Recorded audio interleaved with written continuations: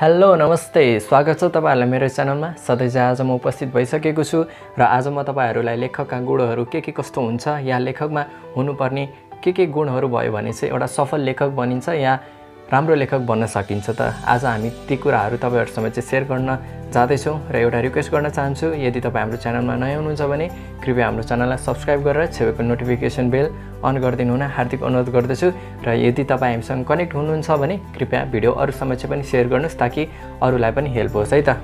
र भिडियोलाई स्टार्ट गरौँ।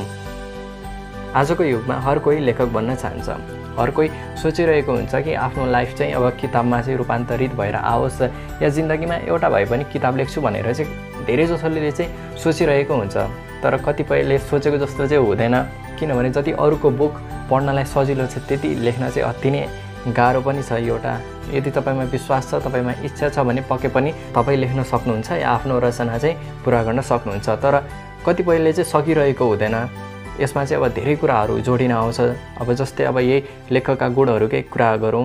कतिपयले चाहिँ थाहा हुँदैन लेखकका गुणहरूमा के के हुनुपर्छ त।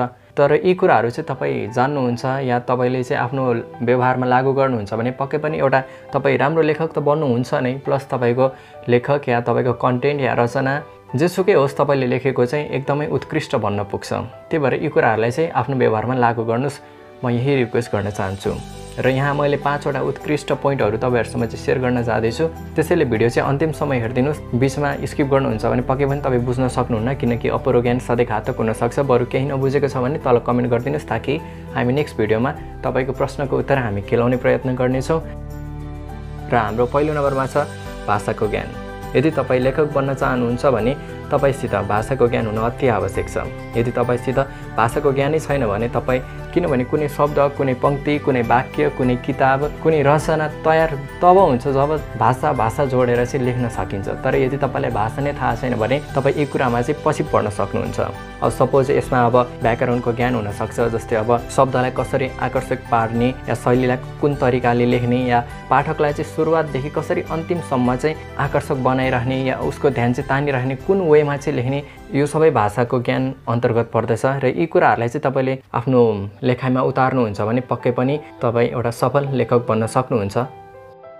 लेखकमा हुनुपर्ने सबैभन्दा महत्त्वपूर्ण गुणमध्ये एक हो इमेजिनेसन र एउटा लेखकलाई सफल बनाउनलाई पनि यसले ठुलो भूमिका खेलेको हुन्छ।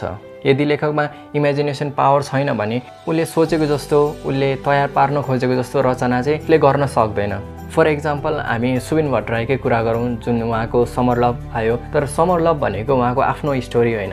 उहाँले चाहिँ कतैबाट सुनेको कतैबाट उठाएको आधा आधा स्टोरी उठाएर प्लस आफूले इमेजिनेसन गरेर चाहिँ त्यो स्टोरी क्रिएट गर्नुभएको हो। यदि उहाँको इमेजिनेसन पावर त्यति राम्रो हुन्थेन भने उहाँको रचना पनि त्यति सफल चाहिँ पक्कै पनि हुन्थेन होला। त्यही भएर एउटा सफल लेखकमा हुनुपर्ने गुण भनेको चाहिँ इमेजिनेसनलाई चाहिँ एकदमै मान्न सकिन्छ। र यो इमेजिनेसन किन आवश्यक छ तर के फाइदा पुऱ्याउँछ त यसले भन्दाखेरि चाहिँ जब तपाईँ केही कुरा इमेजिनेसन गर्नुहुन्छ भने तपाईँको कथा त राम्रो हुन्छ नै प्लस एउटा एउटा न्यू स्टाइल हुन्छ एउटा नयाँ स्टोरी क्रिएट बन्न पनि हेल्प गर्छ प्लस नयाँ नयाँ बिम्ब प्रतीक पनि तपाईँले सृजना गर्नु सक्नुहुन्छ प्लस नयाँ पात्रहरूको प्लस तपाईँले डिटेल रूपमा लेख्न सक्नुहुन्छ। त्यही भएर चाहिँ इमेजिनेसन चाहिँ एकदमै इम्पोर्टेन्ट कुरा हो। एउटा राम्रो लेखकमा हुनुपर्ने गुण हो। र जति पनि सफल लेखक बनेका छन् उहाँहरूको इमेजिनेसन पावर पनि एउटा राम्रो भएर हो। र यो कुरा चाहिँ तपाईँले आफ्नो व्यवहारमा पनि उतार्नुहुन्छ भने पक्कै पनि एउटा तपाईँ सफल लेखक बन्न सक्नुहुन्छ। फोकस तपाईँ सक्सेसफुल राइटर बन्न चाहनुहुन्छ वा एउटा सक्सेसफुल राइटरमा हुनुपर्ने गुणहरूमध्ये चाहिँ एउटा यो पनि गुण हो। र हरेक लेखकमा चाहिँ यो फोकस हुनु अति नै आवश्यक छ। सपोज अब नयाँ आउने राइटरहरूमा चाहिँ के लाग्छ भने उनीहरू चाहिँ अब जोस हुन्छ उहाँहरूसँग अनि केही कुराहरू लेख्न थाल्छ। प्लस अनि एक दुई दिनमा चाहिँ ध्यान भड्किन्छ क्या। किनभने उहाँहरूको राम्रो अडियन्स हुँदैन फलोवर हुँदैन फ्यान हुँदैन। जस कारण उहाँको रचना चाहिँ त्यति पाठक सामु पुग्दैन या भनौँ पाठकहरूलाई चाहिँ त्यति उत्कृष्ट लाग्दैन। किनभने भर्खर स्टार्टिङ गरेको हो र स्टार्टिङमा चाहिँ धेरै मिस्टेक हुन्छ भनेर चाहिँ आम मानिसको सोचाइ छ। आज एउटा विषयमा लेख्यो भोलि अर्कोमा कन्टेन्टमा जम्प गरिहाल्छ। जस कारणले चाहिँ उनीहरू कन्सिस्टेन्सी चाहिँ बनाइरहन सक्दैन जस कारणले चाहिँ अनसक्सेसफुल हुन धेरै नै चान्स हुन्छ। अब फर इक्जाम्पलै भनौँ यदि तपाईँ कुनै उपन्यास लेख्दै हुनुहुन्छ त्यो उपन्यासको मूल कथा चाहिँ अब तपाईँले मोटिभेसन बुक लेख्दै हुनुहुन्छ। अब तपाईँको माइन्डमा चाहिँ अब कसैको लभ स्टोरी आयो। अब त्यो किताब लेख्न छोडेर चाहिँ तपाईँले अब लभ स्टोरी बुक लेख्नुहुन्छ भने तपाईँ पछि पढ्नुहुन्छ। एउटा बगिरहेको खोलाले पनि ढुङ्गाले खियाउन सक्छ। तर यो के कारणले भन्दाखेरि चाहिँ त्यो उसको कन्सिस्टेन्सीले हो। उसको बगिरहेको छालहरूले चाहिँ ढुङ्गाले खियाउन सक्छ। त्यही भएर चाहिँ यदि तपाईँ आफ्नो लेखनमा फोकस गरेर तपाईँ चाहिँ कन्सिस्टेन्सी बनाएर गइरहनुहुन्छ भने पक्कै पनि आफ्नो करियरमा या आफ्नो जुन चाहिँ तपाईँले टार्गेट बनाउनु भएको छ पक्कै पनि तपाईँले फुलफिल गर्न सक्नुहुन्छ।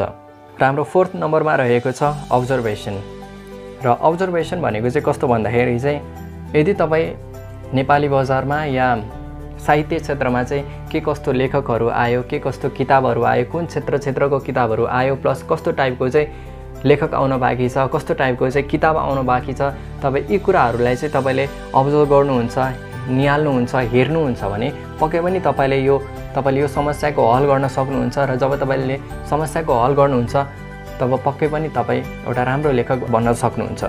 म भन्दिनँ कि अब बजारमा सबै किताब पढ्नै पर्छ भनेर सबै लेखकको अब तपाईँले अब डिटेल बुझ्नै पर्छ भनेर म भन्दिनँ। तर यदि तपाईँ साहित्य क्षेत्रमा आउँदै हुनुहुन्छ या तपाईँलाई मनपर्छ भने या तपाईँ यहाँबाट अगाडि बढ्न चाहनुहुन्छ भने कम्तीमा तपाईँले थोरै डिटेल भयो भने त थाहा हुनु पऱ्यो नि होइन? त्यही भएर चाहिँ डिटेल रूपमा थाहा नभए पनि मस्टली थोरै कुरा भए पनि थाहा हुन चाहिँ अति आवश्यक छ। जब तपाईँ अरू लेखकको बारेमा बुझ्नुहुन्छ अरूको किताब पढ्नुहुन्छ भने तपाईँले पनि केही नलेजहरू पाउनु सक्नुहुन्छ केही आइडिया पाउनुहुन्छ जस कारण तपाईँलाई नै हेल्प हुन पुग्छ। त्यही भएर चाहिँ तपाईँ सक्सेसफुल राइटर बन्न चाहनुहुन्छ भने अब्जर्भेसन गर्न चाहिँ अति आवश्यक छ।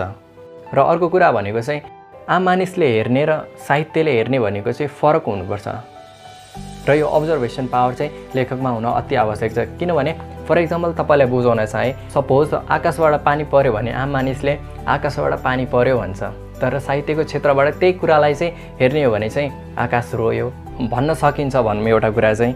यदि तपाईँ अब्जर्भेसन गर्नुहुन्छ भने पक्कै पनि तपाईँ एउटा राम्रो लेखक बन्न सक्नुहुन्छ। हाम्रो लास्ट पोइन्ट रहेको छ कन्फिडेन्ट एउटा राइटरमा हुनैपर्ने गुणहरूमध्ये चाहिँ एउटा यो पनि गुण हो। सपोज तपाईँ लेख्न त लेखिरहनु भएको छ तर केही कुरामा चाहिँ डराइ डराइ लेखिरहनु भएको छ भने तपाईँ पक्कै पनि सफल बन्न सक्नुहुन्न। सपोज फर इक्जाम्पल तपाईँलाई बुझाउन चाहन्छु। सपोज तपाईँको गाउँमा विद्यालय छैन र तपाईँ चाहनुहुन्छ मेरो गाउँमा पनि विद्यालय आओस्।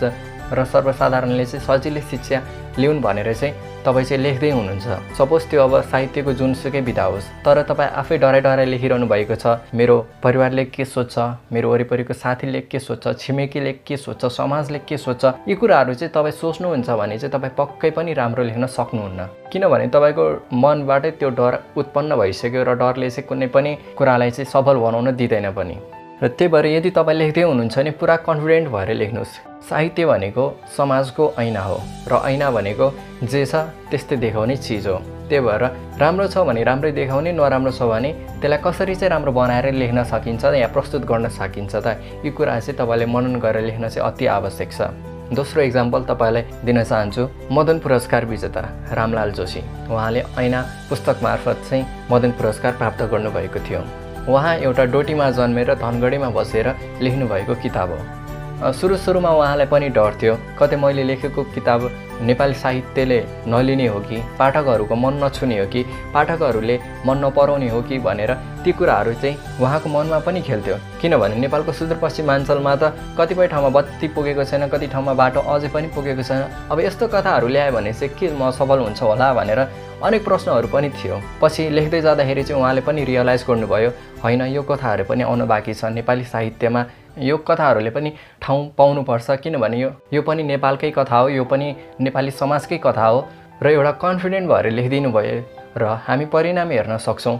मदन पुरस्कार जित्नु ठुलो कुरा होइन उहाँको लागि तर जुन चाहिँ नेपाली साहित्यले दिएको माया छ सायद यति कन्फिडेन्ट भएर नलेखेको भए सायद यी सम्मान यी मायाहरू चाहिँ पाउन सायद गाह्रै पर्थ्यो होला उहाँलाई चाहिँ। त्यही भएर एउटा रिक्वेस्ट छ यदि तपाईँ लेख्दै हुनुहुन्छ भने प्लिज कन्फिडेन्ट भएर लेख्नुहोस्।